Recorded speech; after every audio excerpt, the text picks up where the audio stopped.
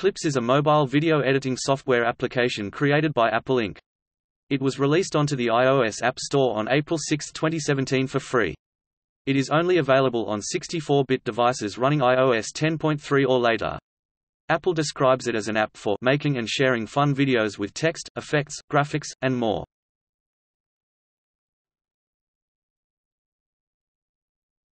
Topic: Features.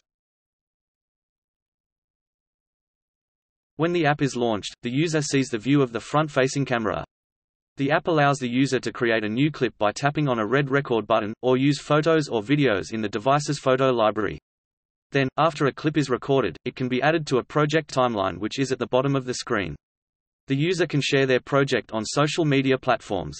The user can also add filters and effects to the project. Live titles, which come in several styles, can also be created by dictating to the device.